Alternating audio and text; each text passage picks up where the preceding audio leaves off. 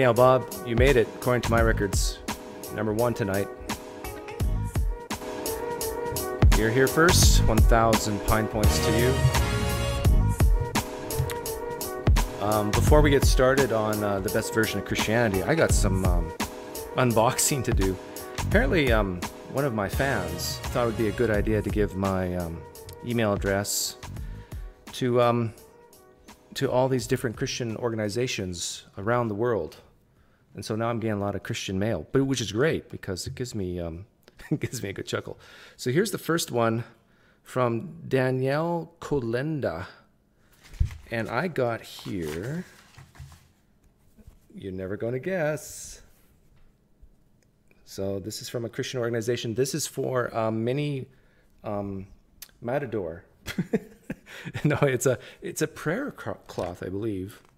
There's absolutely no limit to what God can do through simple point of contact. All you have to do is act in obedience, leading in your heart. This is cool. Um, maybe I should try it here, see if it works. What's with the beard? Uh, Tom, you told me to wear uh, have a beard, wasn't it you? Uh, when you act in faith, when you act, your faith begins to work. When your faith begins to work, God begins to move. When God begins to move, get ready for miracles that are special, extraordinary. Believing with you your special miracles, Evangelist Daniel Kolenda. P.S. We believe that we share a special faith connection with you, and we take it seriously. Thank you for giving us the opportunity to minister you in this way. Uh, okay, so I am holding an anointed prayer cloth we promised to send you. Well, yeah. Please know that you're using this cloth as a sincere scriptural way to bring personal touch of miracle, anointing, and faith to your need. Okay. Thank you so much, Daniel, for the prayer cloth. It's um, it's nice and red. Okay, what else did I get? This is from uh, Christ for All Nations, the ministry of Reinhard bon- and Dan. Oh, this is Daniel again, but with another guy.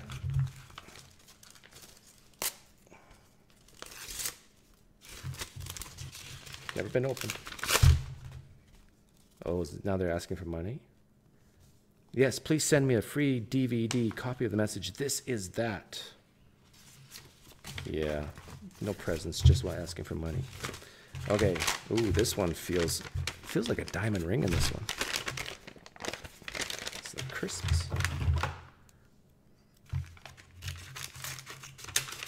This one I have to use as scissors. What did I get? Ooh, it's a box. I better make sure this is not dangerous first. What, what is this? My goodness, they sent me a lot of words. St. John of Shanghai and San Francisco, the Wonder Worker? Oh my goodness. It's a story about a wonder worker. Dear brothers and sisters in Christ, we are sending you holy oil from the from St. John Wonderworker of Shanghai, San Francisco. Oh, I got wonder oil, holy oil. This is scriptural, by the way. Now, I please help me understand how this is not all superstitious Christians. This you're telling me this is not superstitious? That if you hold this this has been a blessed prayer cloth, that's not superstitious? Oh, look at this. Holy oil from the reliquary, liquary of St. John. See if it has an odor. See, I'm a chemist. Like, this is how you smell things. You just don't stick your nose in there. I did that once with uh, concentrated sodium hydroxide. Oh. Um, yeah, it doesn't smell like anything. I wonder if I can use this to for my eggs tomorrow morning to make sure the eggs don't stick to the pan. okay, so those are my three presents. I got holy water and a cloth. You see, and some Christians are saying, "Yeah, this is this is crazy. This is nuts. It's a cloth and and holy oil." But I, you guys pray, right? Um, you guys ask for a hedge of protect, protection before you go on trips and, and travel in your vehicles.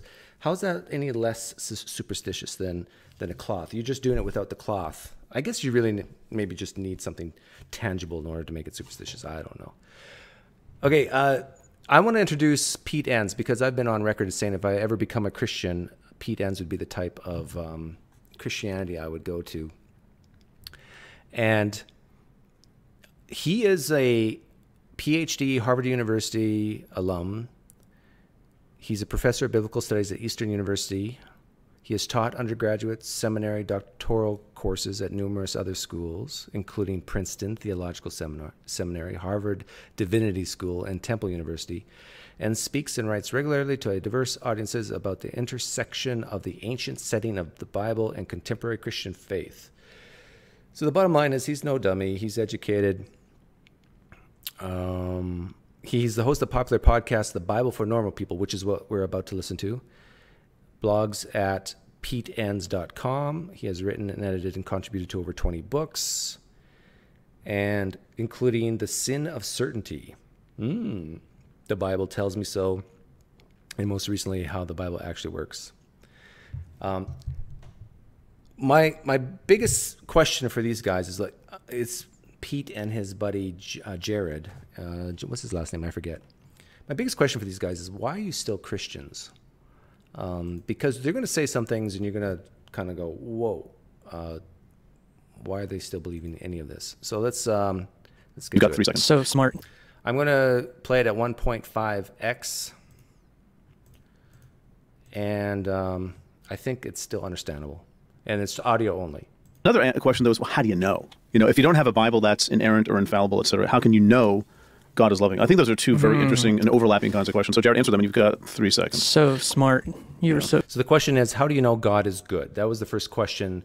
They're fielding questions from guests. How do they know that God is good? I am. You you just pulled that apart. My mom always. So, I mean, let me just re see if I can re summarize, re summarize, if I can just summarize for the first time what it is you're saying. That really this question, and I think it's important, the reason I'm doing this is is not just semantics, but it's different to say, how can we come to this conclusion? How can we think these things? That's very different than saying, um, how, are, how can we know? In some sense, that that's more of a certainty question. Right. How can we know for sure?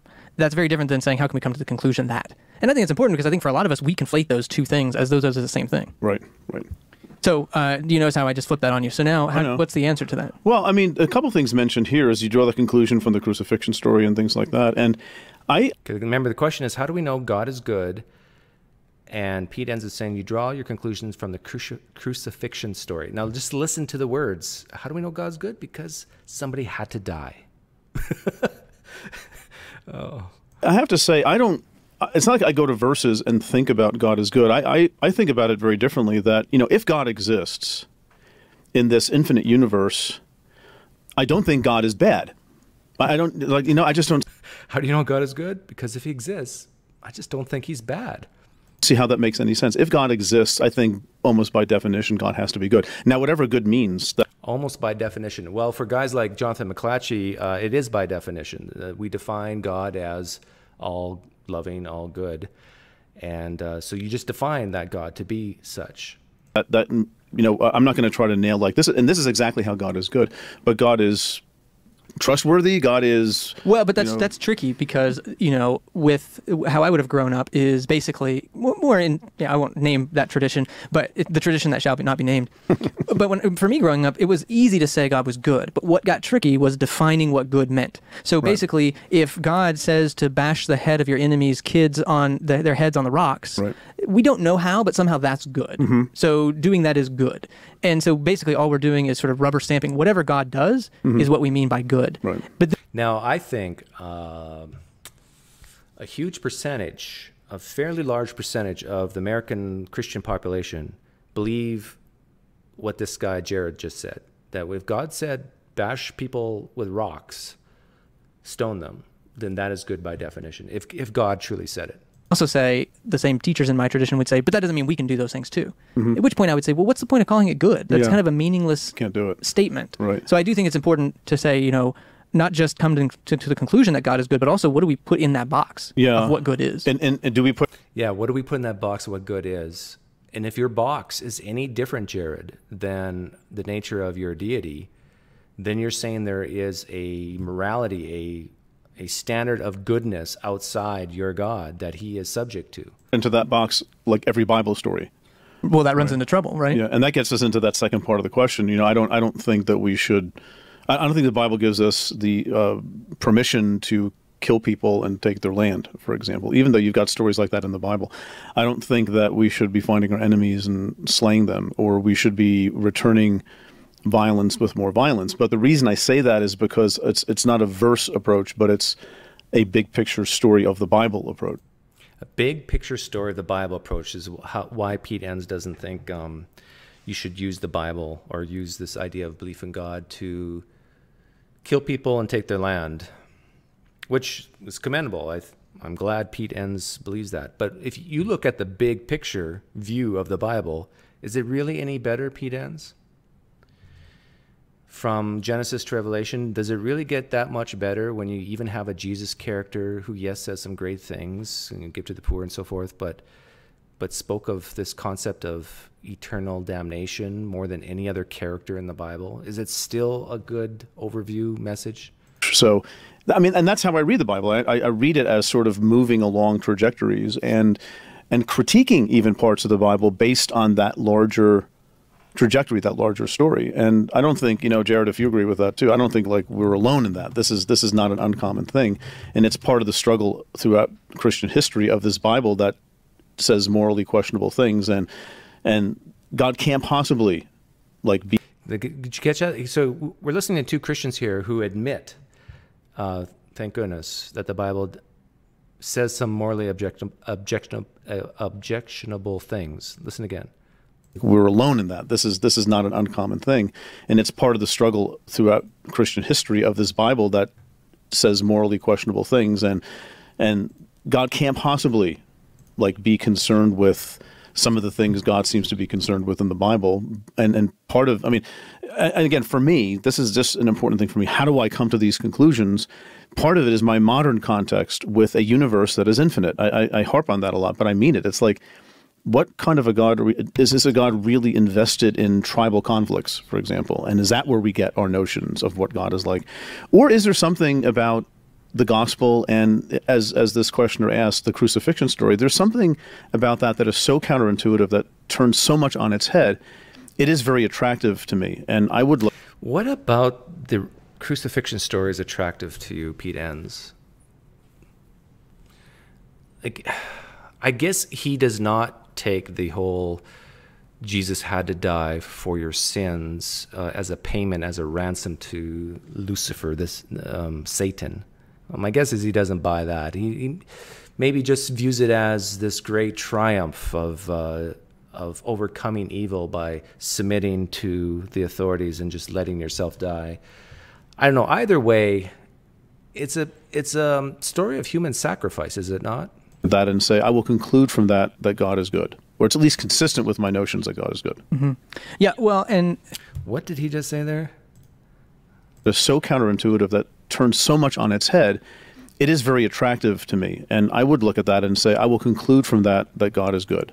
Because of the crucifixion and the resurrection, I guess, he concludes that God is good. Or it's at least consistent with my notions that God is good. Mm-hmm. Yeah, well, and it does get tricky for me when I think about, I would say in some, in some. Yeah, Adam S.E. asked, Doug, why do you want to be this type of Christian again? Um, if I were to become a Christian again, Pete Enns would be the type of Christian I probably would be. However, I'm going to ask questions and critique him that in a way that will show like this is insane. It's it's it's so obvious to me that these guys are taking their hands and squeezing as hard as they can and hanging on for dear life, and I don't know why. Why are you guys hanging on for dear life to this idea of Christianity? Senses, I get this conclusion from the Bible. And then there are other senses in which I would not get that conclusion from the Bible. So I guess right. like if you're reading the Bible in our culture, and I think that's an important qualifier in our mm-hmm. culture today, there are places where you would say that what God is doing there doesn't seem to be good. So we have a few choices we can make at this point. Mm-hmm. Um, and so I think that's it's important that we I think we we all make these we do we draw these conclusions, and a lot of times, kind of going back to Richard Rohr in his episode on the podcast, we draw them usually based on this idea of experience and Yeah. how Okay, remember the question is why? How do you know God is good? Um, and now Jared's going to give his, I think, his his main point here. We I think we we all make these we do we draw these conclusions. And a lot of times kind of going back to Richard Rohr in his episode on the podcast we draw them usually based on this idea of experience and Yeah. how we've experienced life and what we've been taught about what's good and bad and right and wrong. And uh, and so I think that's going to be we have to talk about experience in this. Right. So it sounds like Jared's saying we know God is good based on our experience and based on our culture of what even good is. And that, that brings us then really to that second part of the question. How can you know? How can you be certain that God is loving? And I can't in, in, in that intellectual sense. I can't say, here's how I'm certain. And I don't think it makes a difference then whether you have a Bible that's inerrant and infallible. Because you've So he's Pete Enns admitting you can't know if God is good. I think there's some verses in the New Testament where uh, I write these things that you may know you have eternal life. Now it's not talking about God being good, but that you can have knowledge in the strong sense. It really sounds like it's in the strong sense, knowledge that that one a person is saved. I have a Bible that's inerrant and infallible, you've got some pretty serious moral questions to deal with. And like Jared, you were saying before that you know God does X, Y, and Z, and that's good because God does it. Well, what about us then, right? It, it- doesn't, you know, treating those as being th- those kinds of stories in the Bible as giving definitive knowledge of what God is like. That doesn't solve the problem. That actually raises it. This is why people stop being inerrantists or infallibilists of the Bible, and they look at it differently. They look at it from, you know, the point of view of an ancient world. How would they have talked about God at that time? Yeah, Pete Enns saying, look, you can't take the Bible, or this is why some people have left this whole idea of when the Old Testament said certain things, God commanded this. You just can't you can't accept that because this whole idea of God being good, you now have to throw out the window because it goes so much against our our experiences of what good is, and there's no way a God could do those things. So they, therefore, it can't be literal. It can't. It says that God commanded these certain things, but it really doesn't mean it. That's not what God really did. And when I'm interacting with Christians like Pete Enns, I'll say, well, how, how do you know when it says that Jesus appeared to the 500 or Jesus appeared to the women at the tomb or shortly thereafter? Well, that's what it says, but how do you know that actually happened in the past? Like maybe it's a it's a big um, big parable, like John Dominic Crossan says. In other words, it's it's you know back to Rohr. It's it's their experience too that affected how they articulated what God is like, and we do the same thing too. Well, how can you be sure that you're right? I'm not sure that I'm right. How can I possibly be sure that I'm right? Talking about the infinite Creator and an infinite cosmos, I'm doing my best, and I have to trust. You know, to use the Christian language, which I embrace, the Spirit of God working in us and in the world, and we're trying our best. And I will act as if God is loving. I will act as if God is loving. I don't know if God's loving, but I will act as if He is. without being able to give a you know a formula for how I know that's absolutely true. Well, and not to get too abstract, I'm about to get too abstract. you always know someone's about to do it when they say not to do it. Uh, but this goes. This is an ancient problem, and I, I, I think it's important that we say that this is not.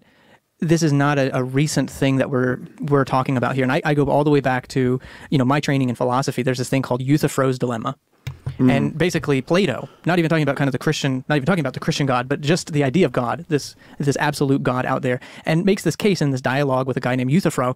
Is the is it good? Whatever we want to call good, is that good because God has called it good, or does God call it good because it's good in its essence? Mm-hmm. And the, the it sounds abstract. is abstract. But the reason it's important is because you really come down to two conclusions.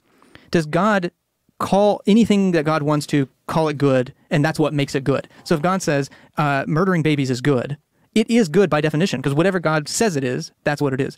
The other problem, if you don't say that, is then there's this thing outside of God called good that's even maybe better or bigger than God that sort of God has to obey this universal sense of goodness. And so we, we it's, it's called a dilemma because it's a dilemma. Now, so far, he's not giving the standard conservative evangelical response to the Euthyphro dilemma by saying, well, there's a third option. It's God's nature. The good is God's nature, an outflowing of, of his nature. His nature is good. Um, but no, it's, it's still the same problem. Or like a few thousand years later, we still haven't really solved this problem. Either we have an arbitrary God who can call things good however God wants to, or God seems to be serving this universal thing called goodness. And we don't really have a good answer to that. But I think for me, I moved my tradition growing up would have been in that first camp. Whatever God says is good is good. If God says murdering kids is good, well, I guess it's good. Okay, so this is interesting. Jared used to come from that that way of thinking, uh, and so did I. And it sounds like he's moved on from that. Um, and I think it's because because of things like worship and why I ask the questions I do. Uh, can you really worship a God that would that at some point in the past commanded these certain heinous things? Like even if he doesn't do it anymore, can you worship a God that did it in the past? And can you really call that good? And I think for guys like Jared, no, he just I can't. I can't do it. To leading with experience, which is saying we all experience this thing called goodness, and I think we're trying to figure what what that is. Mm-hmm. And whatever God's up to, we're going to say it's part of that thing. Mm-hmm. And and I think that, frankly, that idea though of goodness changes over culture, which is what makes this whole thing kind of messy. Maybe not in its essence, but I think Oh, see now this is there's going to be a lot of Christians uh, who hear this who are going to say this this Jared guy he can't be a real Christian he can't be a true Christian because he's admitting that this idea of goodness changes from culture to culture. figure what, what that is. And whatever God's up to, we're going to say it's part of that thing.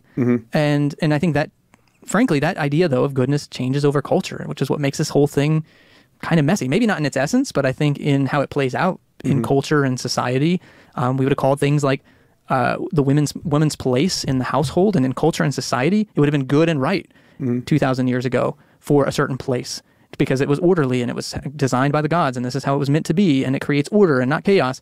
And now we would say that's not good. Now, now you know this more egalitarian equality sense of society is good. So, anyway, that's my abstract problem of this. Well, we always have to be careful of the problem that we as human beings, I think, can't escape, and that is mixing together what God is and our own perceptions of that. And Yes, we have to be careful. This is really good stuff. Pete didn't say we have to. Pete Enns is saying we have to be really careful of our perception of what good is, and what actually is is good. Um, the thing is, Pete Enns, how in the world do you tell the difference when God says something is good versus just you feeling or experiencing through your culture that it's good? Maybe God really does want you to take a, a, a rock and smash it against a baby. Um, maybe He does for for reasons, for morally sufficient reasons that you just haven't figured out. And I think until you figure out how to come up with a reliable way of figuring out when God's actually saying it and when it's just you thinking it, oh no, thinking, oh God, my God would never do such a thing.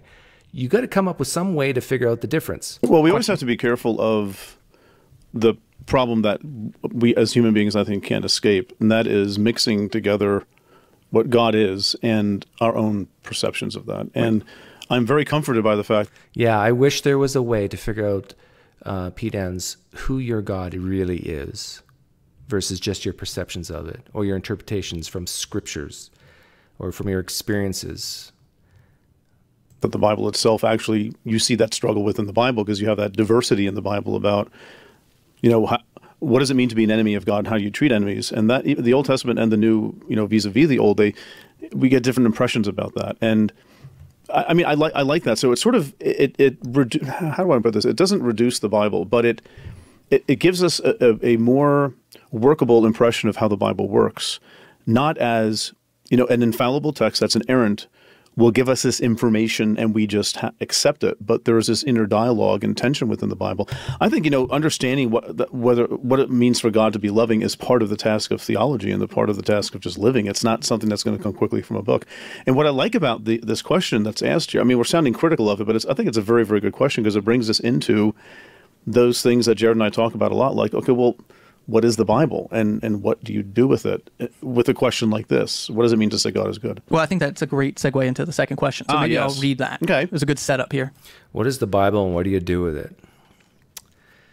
You know, it seems like only Christians struggle with that question. Maybe Jews, maybe I guess Muslims as well. but it's a book written by men and has some inspirational parts, uh, great parts that that some um, people like, and then it has a lot of uh, not so great parts that people struggle with. And for guys like Jared and Pete, they've moved on from struggling because they've given up the idea that every word it says is actually um, the word from a deity. So, over the course of human history, so many people have put out there their approach to interpreting the Bible, living for God, following Jesus, kind of the religious way of life. So many teachings, so many books, so many people with opinions. How can we know which approach is right? Yeah, that's a common question. And the answer is We can't. we can't. Oh no, right, next you guys, question. you're just confusing us. No, it's not because you know I get the question, right? We You notice they already are hearing, they're not hearing pushback from guys like me, from atheists, an atheist. Pete Enns is responding, he's, he's already hearing the pushback from fellow Christians when he's admitting you can't know what the correct interpretation of the Bible really is. You just can't. There's so many different interpretations of so many different theological issues. Um, we might be stuck, he's saying. we get it. We, I wonder that too. Like, am I right? Am I more right than all those other people out there? And but the thing is that we can't know it because, I mean, to state the obvious, we're dealing with God here, and we have to keep. I have to keep remembering that. We're We can't know it because let's be honest, we're dealing with God. Pete Enns is admitting here that not knowing is equivalent or similar to the whole idea of God, which gets us back to this idea of faith and believing something without actually knowing it.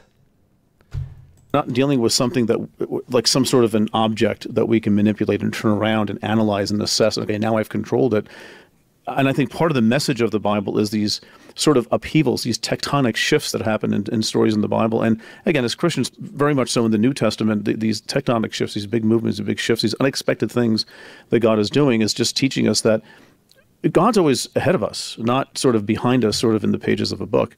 And so we, we can't know, but How do you know, Pete Enns that this God is ahead of you? Assuming it exists, how do you know this God's always ahead of you? But we can move towards greater knowledge, I guess. I don't mind saying that, like greater knowledge of God, greater understanding, greater communion, greater experience with God. And the fact that there are, as the questioner says, absolutely right, there are so many people who have lived, who've approached interpreting the Bible and living for God and following Jesus in so many different ways, so many teachings, so many books. Yeah, so many different ways they've uh, approached the Bible. And my theory is that people approach the Bible based on their personality types. That you'll see those people who really are empathetic and compassionate and loving. You know what? They tend not to be presuppositional Calvinists, Reformed Calvinists. Calvinists. Um, they tend to be maybe more charismatic in a Pentecostal type church. And the people who just love have the personality type who just love justice and this has to be true and and and um, I need to, to know this for certain. I need a solid foundation. That's how you build a good house. You have a solid foundation and then you build it up. Um, those are the type of people who, who will become, you know, more the the staunch Baptists, um, the once saved, always saved types, the King James only type, depending on how strong it is. And so, isn't it amazing how our personality types seems to fit very nicely with the theology that uh, that people tend to have? so many people with opinions. I'm not sure the point of that is to narrow it down to, well, here's the one that's more right than others. I mean, this, you know, Jared and I are both part of traditions that thought that way. You know, we're basically we're right. We're you, you can draw a line from Moses to Jesus to John Calvin, et cetera, and there you have the, the, the sort of the purity of the church. But everybody thinks that, and maybe this diversity in the history of Christian thinking, not just in the history of it, but just in the world today. People sitting in your church, if you go to church, you know, there's so much diversity in thinking. And what if that reflects something of the nature of God too? It's not like, okay, guys, here's a Bible, here's a story. Figure out the one way to understand this, and we'll see which one gets it right at the end. Maybe it's something about the nature of God and the character of God that leads human beings to come. Whoa, whoa, whoa, whoa! Isn't isn't Pete Enns? Don't you believe that God is not an author of confusion, not the God of confusion? He's not the author of confusion, however the verse says. And he's basically saying, look, we have all these interpretations of different theological issues that people come to the Bible with with different conclusions, different slants on things. Well, maybe that says something about God, that He isn't maybe this one final answer, and that maybe He has a whole bunch of different conflicting, confusing type um, properties. At this question of what it means to be Christian, all this from so many different angles. Yeah, I think of a, a few things. One is uh, Richard Rohr, who says, Who? Uh, Richard Rohr. Never- never heard of the guy. Yeah, well, Yeah. he's uh, you know I found him tucked away in a used bookstore somewhere a long time ago. But he says, you know, rather than thinking about God as not knowable, what if we talked about God as limitlessly knowable? Mm-hmm. And and so I think that's an important thing too, because I think of it as uh, when we're trying to figure out what's the right way of doing it. So I think of this absurd picture of, you know, we're really thirsty, we're in this big lake, and we're trying to figure out sort of uh, how to take a drink. And so we get the cup and we put some water in it, and we then we decide that that cup is like the only. Uh, the only thing that can quench our thirst. It's like, well, it is necessary. I needed to get a cup for myself, uh, but then to draw the conclusion that only this is actually water is seems a little bit absurd. And so I like the idea of this. It's limitlessly knowable. There's lots of ways in which we can. Susan, great question. Um, why don't they just grow up and not need a father? Yeah, these guys have both rejected the inerrancy, this, the whole idea of certainty. Um, they're probably called non Christians by a, lot of their fellow Christians. Why do they still need Christianity? That's a great question, Susan. What is it? My guess is that it just it boils down to community and this good feeling of helping others and having a some type of role model for it. I don't know. which how we know things about God. Um, and that also makes me think of a book by Brian McLaren that's called, you know, We Make the Road by Walking. So somehow I think we've, even these questions, these first few questions, which again are good questions, but they're both knowledge based questions. And I think there's a privileging, there's an emphasis on knowing in our culture that I think the Bible doesn't share. And There's an emphasis on knowing in our culture that the Bible doesn't share. Wow. Wow. Our culture wants to know things, but maybe the Bible's not like that. Maybe it's not about knowing, not being sure of what we believe. Is that what he's saying? that I would say, frankly, I, I'm just getting tired of because it's it's like it's this disembodied idea that somehow what goes in our minds is the most important thing about our relationship to God. I want to propose, Jared, if you ever hear this, I want to propose something to you. I think you're tired of this idea of knowing because you're sick and tired of having to defend what you don't know and yet you actively believe. You actively believe certain things, you live your life in a certain way because you think you know something that Jesus existed and rose from the dead, maybe. I don't even know if you believe that. I, do you believe, Jared, that Jesus rose from the dead? Huh. Yeah, I think you have been most of your life defending the indefensible, and that's why you're tired of it. God or even to each other that I think we need to move beyond and start talking about how do we make the road by walking. It's sort of when do we stop lifting the weights and be, because we're trying to get to that perfect build and realize that this whole time we've been building muscle and we're getting stronger and that maybe the process is the point. Mm-hmm. Well, how would you respond, Jared, to what you know we've both heard a lot of times is that, well, that's nice, but that sounds awfully subjective, and it's not going to help you be certain about, right? I mean, I know it's it's very circular, but it's you know. That's not mm-hmm. helping me because I'm not really sure why being Christian makes any difference and whether I should just switch to something else. And it's it's a very subjective approach to the Christian faith and not objective. Okay, this is interesting. I want to hear the answer to this. Like, why not switch to something else? I mean, these two questions hang together, like you said. Once you take away a rule book Bible that tells you this is it, you know, mm-hmm. Okay, even though there are contradictions and tensions, this is it. This you just follow this, and that's all there is to it. That's that that suggests some objectivity to faith, and and this is very subjective.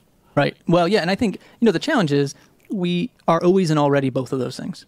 Right. We're human beings in a world with objects and facts, and so we have to navigate that in some sense objectively. It's when we think that that's all there is to it that uh, I think we get into trouble. So we're all Okay, so Jared's to his credit saying it's we don't reject um, objective facts, but there's more more to it than that. I wonder what that more to it is. Is it that um, intangible Holy Spirit type deal? Is it this thing that some people call faith? subjective human beings. Like we we navigate life within our subjectivity all the time, and that's important. It guides us in a lot of ways. How I feel about things, my subjective experiences, how I think about um, you know, how I think about concepts that aren't out in the material world are all part of who we are. So I think it's not so much, it's that when we've exclusively talked so much about facts and objectivity, that it feels really scary now to even allow anything else as part of the mix. Well, why is it scary to allow anything else as part of the mix? Um, well, sometimes it's because our experiences, our feelings, lead us astray. They deceive. We deceive ourselves. Um, they're not reliable. Human beings are terrible at reasoning. um, okay, uh, they, now they go to commercial, and let's see here. Let me fast forward it to. Actually, I'm going to fast forward quite a bit. Yeah, about there. Study, which is a hazard, right, Jared, of going to seminary and things like that. Not necessarily so, but it can be. Yeah. And yeah, Well, the, but the irony is, I think we have a lot to learn from our scientist friends because the way they came to more and more, uh, the way they came to their truths more and more certainly, if you can put it that way, is by not holding on to what they thought they knew. Right. It was through ignorance. It was through proving everyone else wrong over and over and over. Ah. Jared and I think Pete Enns are basically admitting that doubt, uh, meaning being open to belief revision, being open to changing your mind, doubting in that way, doubting in the sense of questioning the things you believe, not assuming that what you believe is true. I think they're saying that's virtuous. Let me rewind it here. Which is a hazard, right, Jared, of going to seminary and things like that. Not necessarily so, but it can be. Yeah. And yeah, Well, the, but the irony is, I think we have a lot to learn from our scientist friends because the way they came to more and more, uh, the way they came to their truths more and more certainly, if you can put it that way, is by not holding on to what they thought they knew. right. It Yeah, provisional beliefs, provisional knowledge, I guess you would- would say it. was through ignorance. It was through proving everyone else wrong over and over and over again. Mm-hmm. Every theory they had about how the world works, they were there was a process, the scientific process, mm-hmm. and they were committed to the process, not to the conclusions. Mm-hmm. Right. So uh, they weren't. Oh, we have What is that process they use? It's called the scientific method. it now. Now we're we're settled and we feel secure and we're in control of this. No, because then that got overturned and then that got overturned, and that's how they came to what we now know as sort of scientific knowledge. Right. And that was applied to the Bible, you know, that kind of thinking and what that did. And, and, and sometimes, it, you know, it, big mistakes have been made in the history of biblical That was applied to the Bible? The scientific method was applied to the Bible? I don't follow you here, Pete. scholarship, but it it looked at it critically. And so what that has done for a lot of Christians over the past couple hundred years, it either makes them reject sort of science and that kind of mm-hmm. thinking, or it makes them um, ignore what's going on, or for some people, it actually drives them to a different kind of faith where, my goodness, clearly, you know, we don't drive this certainty from this text. You know, the, the modern world we live in is ironically driving us into a more immediate experience of God rather than that always being filtered through our heads. You know, that's a dangerous place to be. It really is because our heads do all sorts of things. You know, if you- Oh, that's a great uh, uh, admission there. Our heads do all sorts of things. This is why I say to Christians that when you think back about the time when you felt the closest to God, when you felt the closest to Jesus, however you want to put it, when you think back of that time, it's usually probably a time when you were going through um, some type of trial, tribulation, something bad happened in your life. Uh, and then you think you had this experience of God, that He did something for you, or spoke to you, or you even maybe even saw Him. Pete Enns is saying, you know, that's it's probably false. That probably didn't happen because our mind can really play tricks on us. modern world we live in is ironically driving us into a more immediate experience of God rather than that always being filtered through our heads. You know, mm-hmm. that's a dangerous place to be. It really is because our heads do all sorts of things. You know, what people say, I mean, was- this was either uh, Homer Simpson or Rousseau, I depending on what website you go to. But actually, it might have been Mark Twain, but, um, you know, for, forgive the sexist language, but God created man in his own image. And like gentlemen, we've been returning the favor ever since, Right. right? We're always creating God in image. And we do do that, right? But we just got to be aware of the fact that we're sort of drawing God into our own way of thinking, and maybe God's just way, way, way beyond that. And we're all trying to access God in in, in ways that don't do violence to our basic humanity and experience, right? And I don't, I don't think God, I might believe that God doesn't expect anything else of us. Right. Well, Yeah, he's just admitting that um, Pete Enns is admitting that people create a god in their own image, and and Pete Enns, I think, would admit that this God that he has in his image is a God that would never do the things that he that happened in the Old Testament. Pete Enns rejects those things that happened in the Old Testament. But Pete, aren't you creating this idea of a God based on your own cultural experiences? You're creating this God in your own image, saying, "Oh, I would never do such a thing, so therefore my God would never do such a thing." Like, how dare you? Like, God is way out there. It's he's you can't you can't know what this God exactly is, right? Didn't you admit that before as well? I think Pete for Pete Enns is he has to believe this, otherwise he has nothing left to worship, and he needs something to worship. it reminds me of what John Calvin said that our hearts are idol factories, Mm-hmm. that we're constantly creating idols. That's what I kind of think of when we create God in our image. It's an idol, it's, Right. it's a picture Right. Mm-hmm. that is tainted by my own subjectivity. And to deny that doesn't actually do us any favors, it Mm-hmm. just makes it more dangerous. Right. So you, you can create God in your own image as long as you're, you realize you're doing that very subjectively, and it's always open to correction. It's when we think that our subjective ideations about God are actually objective, like absolutely true and certain. Well, that's Yeah, and this is the doubt is a virtue thing again. So Pete Enns is saying, yeah, you know, I can create God in my own image, um, but then that's fine as long as you realize you could be wrong. when people start killing each other because you know they think about God. Well, because it's interesting the sleight of hand that happens because God moves from being certain and objective and absolute to me being certain and absolute. right. And that's the, that's where it gets dangerous. And that's tempting for everybody, I think. You know, mm-hmm. you don't have to like be in like in a weird church or denomination or pastor. That's all of us are subject to that. And and in a way, confessing our subje- subjectivity is a real confession of faith at that point. That I'm actually laying down my ego and I don't claim to know this stuff. Yeah, it's a posture. of Well, how can you be certain? I just told you you can't be certain, right? Yeah. Well, are you certain about that? yeah, I know. Uh, yeah, don't even try that one with. Oh, they're dissing presuppositional Calvinists right now. Mean, I've had a dollar for every time somebody said. I know. All right. Well, Okay. I, I'm gonna I'm gonna go to this question because I think this t- this is a great roundup question. Our last question Okay. for this is: What's your perspective on Christianity in your daily life?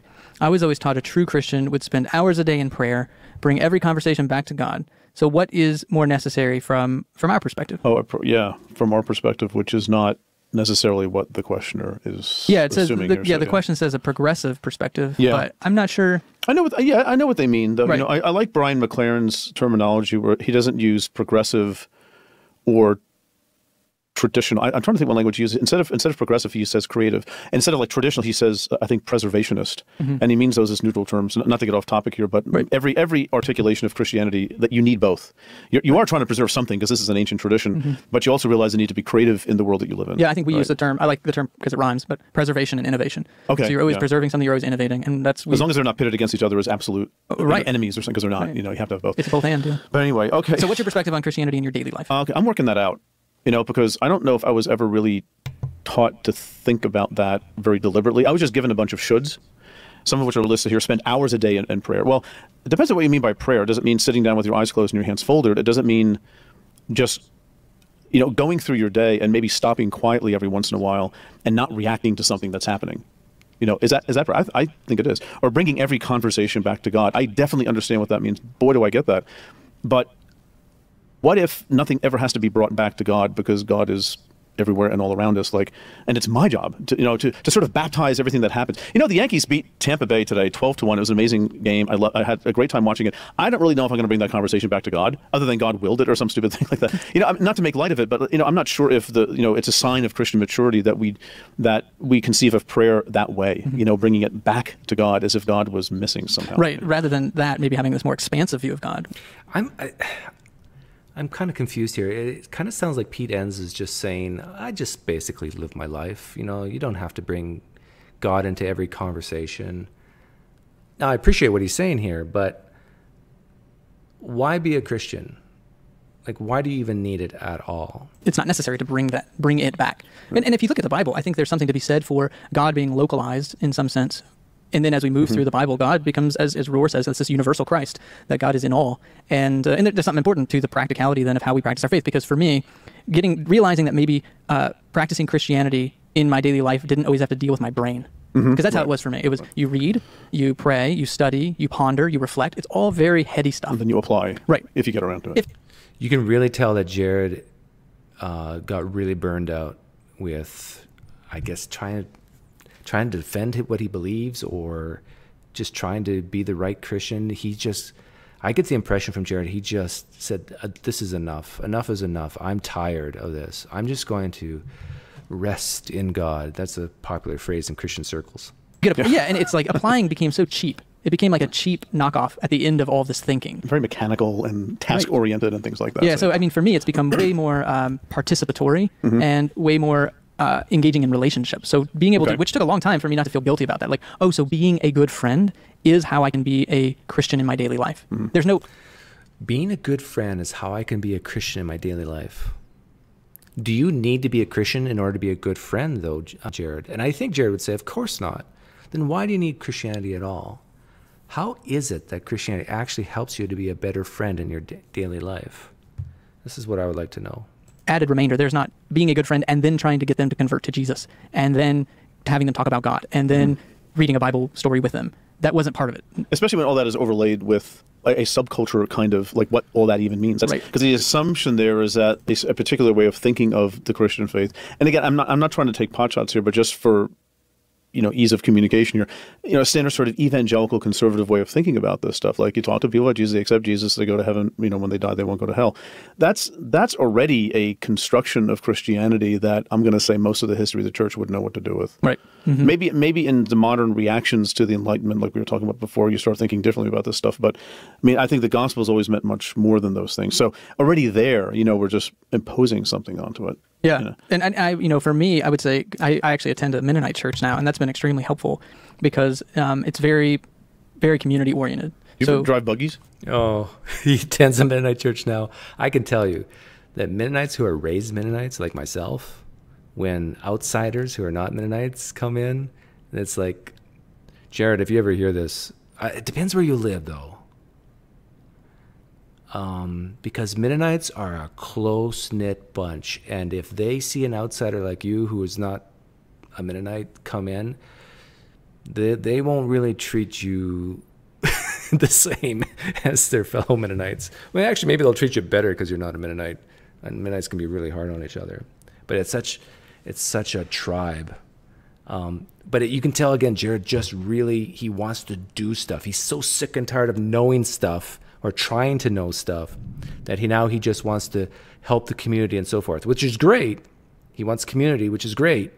But why do you need Christianity for that? And it's interesting that he ended up going to a Mennonite church to find that community. Dri- nope, we don't do drive buggies. Oh, that's Amish. That's that's old school. Oh, that's other kinds we of haven't driven Mennonites. buggies for at least twenty years. no. um, so you know things like uh, justice and reconciliation, peacemaking. Like seeing that was such a foreign thing to me. I, I mean, I was frankly, I, I started attending a Mennonite church because I was just so curious about these people who practice their faith through things like peace and justice. Like, oh, but where is where? I kept wanting to say, kind of quote, "Where's Jesus in this? Where's Right. Jesus?" and it's like, no, Jesus is in the peacemaking and in the justice. It is in the No. it is in the 95 year old woman with the head covering at the drone strike protest. Like Mm-hmm. that is where Jesus is. Oh wait, like it just short circuited Mm-hmm. my brain until over time I started thinking, oh, so practicing our faith, like maybe this is what the Bible is pointing to when it talks about how we walk in love and how we walk in truth. So Yeah, see, I don't know this Jared guy at all, but if I was a, going to bet what type of personality type he has, he's, he's a highly compassionate young man.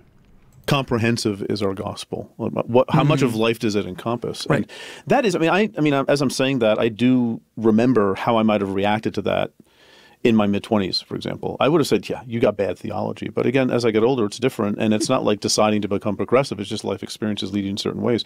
And you know what? You know, Jared has just said a lot about what it means to him. And I would have different things to say, which is sort of the point in all Right. that. Uh, Dan the Meek, are these gentlemen married to believers? I'm quite sure they are. Living believers, siblings, or parents? I'm quite sure they are. Are all their friends part of the Christian community? Yes, I'm sure they are.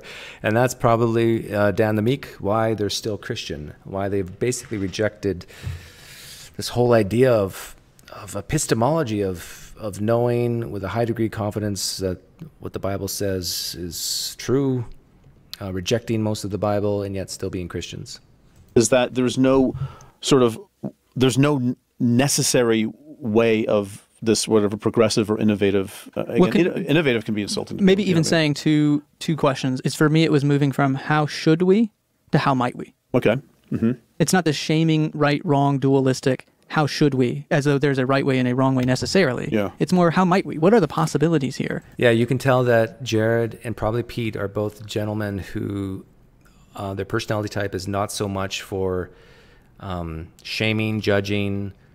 Uh, they're more like "L- let's live and let live and, and try to help each other. More like you know the typical hippie, although they're probably not hippies. Um, and this is why I think they hold the theology they hold. that I haven't yet considered about what it means to live. recognizing your limitations as a person and okay Yeah. how might we? right Um, which is freeing up. It's saying, yeah, inviting you to practice Christianity in ways that are different from mine, Hmm. that I can actually learn from and celebrate. Mm-hmm. Kind of that diversity of practice.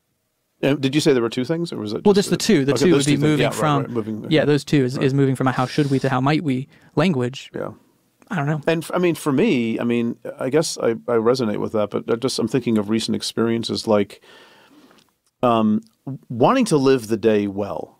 Right. And what does that mean for me? And I've really had to think about that as an expression of Christian faith. And for example, you know, I for a long time I would in the morning get a cup of coffee and read the Bible for half an hour. Now, I actually happen to be doing that right now, but I don't really feel an obligation to it. I just feel like it. you know, I know that's you're not disciplined. Actually, you do that every morning too. So, um, and I get up pretty early. But sometimes, like, you know, I, I've learned sometimes to just sit there on the couch when the sun hasn't come up yet, and just be. And, and not have any obligations. Like, okay, I'm going to have words come out of my mouth now. Or use an app that has a liturgy where I don't have to make words up. Because that's the, see, for me, the big problem is like, I got to get away from my words and my head. That's all I do. And I, I love them so much. I love My- Yeah, it's it's almost sounding like they're using Christianity as a form of um, meditation now. my head. I love my words. I'm such an amazing person. I use the best words anyway. So okay, um, better words than anybody else. So you know, I got, I got Jared's. Jared, get up off the Yeah, you can tell these are Christians who uh, definitely did not vote for Donald Trump. Floor. Oh, Wasn't man. that funny? Oh, um, but you know what I mean? It's just for it's different for everybody. Like for me, I, I've moved into a more liturgical environment over the past ten years because I have had to make changes that I needed to make, Right. and that may for some people be progressive, and for other people it might be well, welcome to normal Christianity. I mean, it's, it's not progressive for some. So I, I do think this is relative, and that's okay. And I'm not judging myself by how by some standard of normalcy or something because again i have to believe that god is big and not within my control and Did you hear that? This is really amazing to me. Listen to this. by how by some standard of normalcy or something because again i have to believe that I have to believe that god is big and not within my control and God is big, bigger than me. I can't control him. Why do you have to believe in any of that to begin with, Pete Enns? What does it give you? Why do you need it?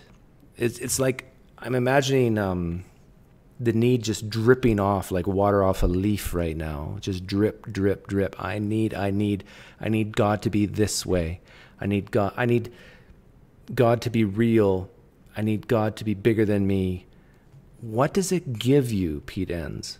I can't manipulate God by doing the right things and you know by saying the right words and having the right routines because that gets very mechanical too and and and trying to listen to again that I, I hope you guys will hear this the right way but listening to that inner voice which I'd like to think is the presence of God sort of speaking to me and sometimes it's He would like to think that's the inner voice is God. just you got to just relax a little you, know, you don't have to perform all Well, the you time.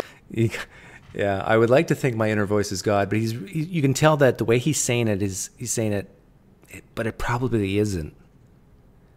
This whole idea of of Christians saying I my inner voice that that's God speaking to me. I'm getting a sense of the Holy Spirit leading and so forth. Yeah, probably not. Probably not. phrase "How might I live well today?" and that's a suspiciously wisdom-sounding Mm. question, Okay. which I think is, I think it's a good, I think it's a good question. Mm-hmm. You know, how might I live well today? But I think it thrusts us back into that earlier conversation of how might I live is a very subjective question. Yeah. The answer to that question may be very different for me than it is for you. Mm-hmm.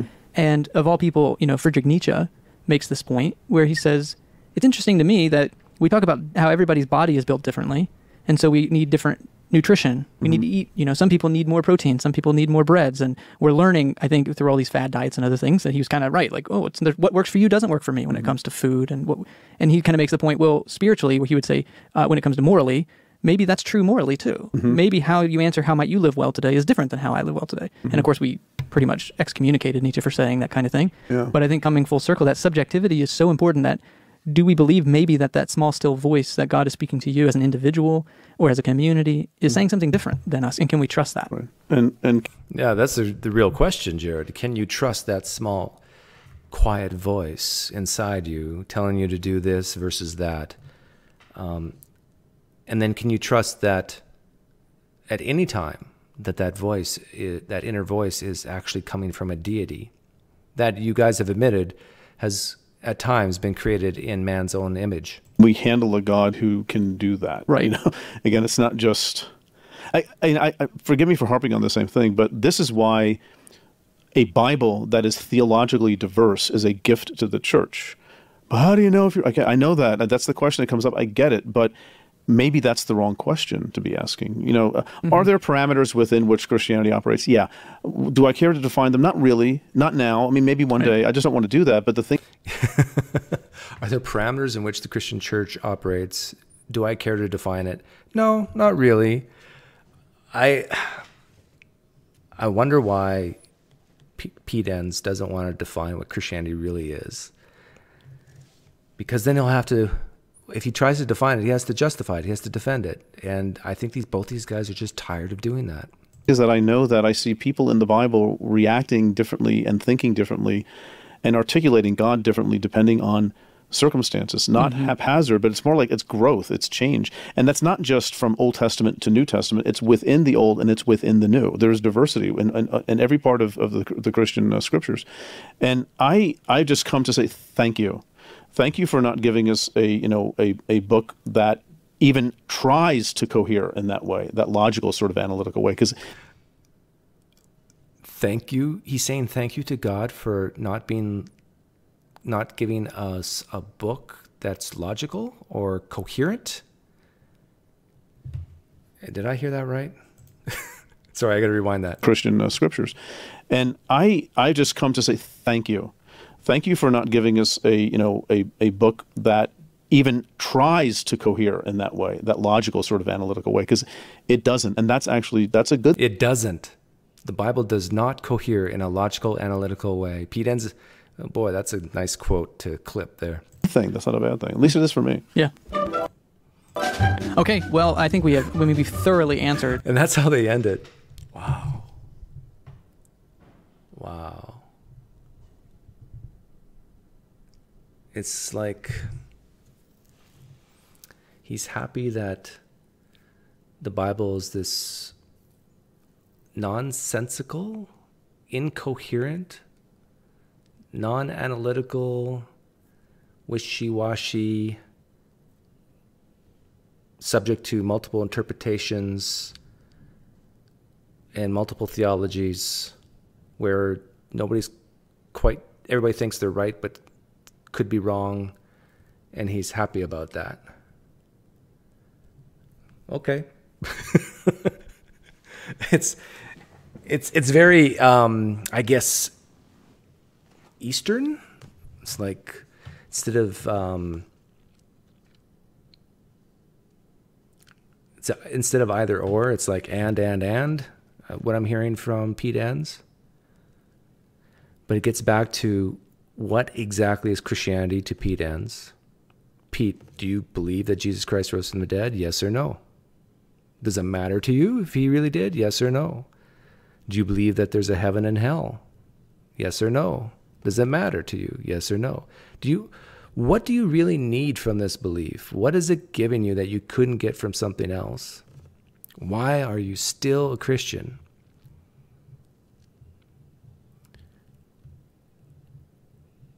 And is it the fact that you're grateful that the Bible is not coherent and not analytical? Is is the reason why you're thankful for that is is it because you can't defend it otherwise? You cannot defend it in an analytical way or a coherent way? I have a feeling, Pete Enns, if you could defend it in an analytical or coherent way, you wouldn't have said what you just said. And I think guys like you and Jared have just thrown up their hands and said, I give up. I just, I can't make sense of this book. Um, but I know God's real. Why? Because I have to. But why do you have to? Is the question. Elliot's fake name says, I still prefer Paul Enns versus uh, to Pete Enns. Yeah, I think I do too. But yeah, this was very interesting. And the thing is, I know quite a few people like Pete Enns and Jared. I just, it has to be about community. I can't think of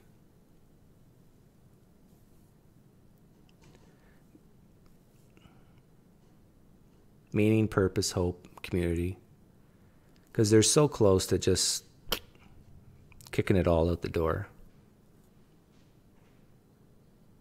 I really don't know why they need any of it other than that, I guess. Oh, um, although S- Susan makes a good point. Or maybe Blood Wolf. maybe this is all they know how to do. No, but Pete Enns makes a good he makes good coin from I think being a professor and writing books. Well, yeah, writing books is probably because of Christianity. But yeah, what would they do if they didn't um, if they left Christianity? Well, they could probably sell more books.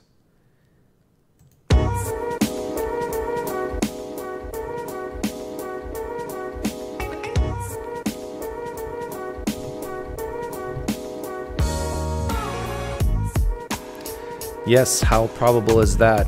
That's exactly what Pete Enns is saying. The Bible is rock solid the way marshmallows are rocks and solid. Brandon, great point. You can find community at the skate park.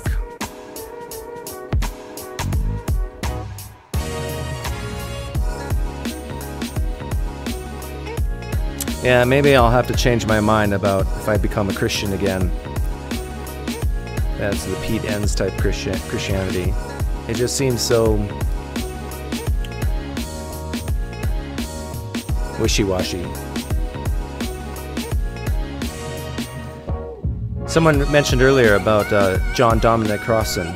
Maybe if I become a Christian again, I'll become his type of Christian. Or um, Dennis MacDonald. But they don't. There's almost no one on the planet besides those two guys who consider themselves Christian. I mean, who view them as Christian. Because I think I think Dennis R. MacDonald views himself as a atheist Christian. He said he doesn't believe in any God, but adapts the, um, some of the tenets of Christianity.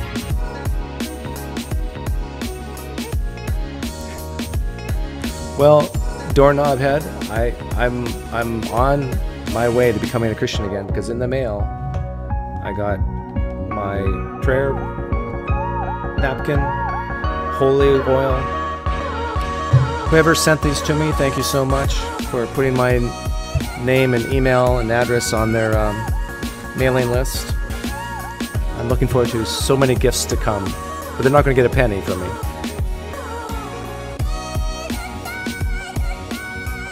Yeah, it's true. Enns doesn't give me this. Good point, Mind Onion.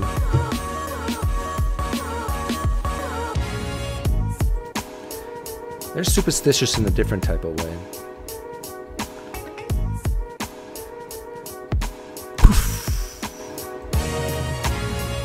Thanks for hanging out with me, guys. Have a great, great night.